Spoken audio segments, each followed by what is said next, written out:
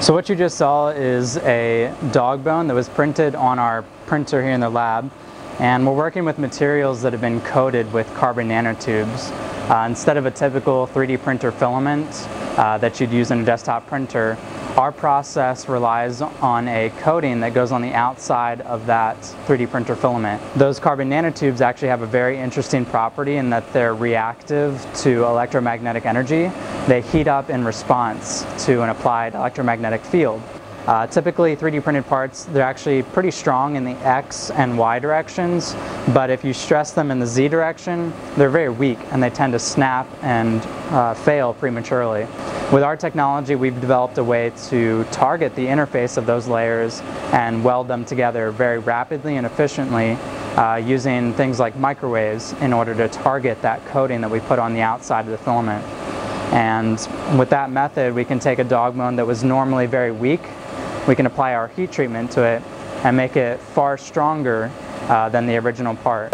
So what we have here is a uh, solid state microwave source that allows us to do our heat treatments on our 3D printed parts. And uh, what we do is we take a completed printed part and we put it into something called a waveguide. And this waveguide is connected up to a very precise solid state microwave source. Once we uh, have something printed out, we'll put it in here and uh, we do a heat treatment on it in order to determine how long and at what temperature we need to heat our parts up to in order to weld them together very efficiently. And uh, we monitor this using an infrared camera. So while we're doing the heat treatment, we're actually watching the part in real time uh, and measuring its heat signature that's coming off so we can precisely determine the temperature and the thermal history that our process has done on the 3D printed part.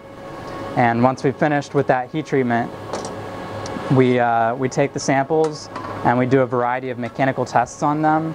And with our process, we've been able to show that we can uh, increase the fracture strength in between the layers uh, 275% uh, over a standard 3D printed part.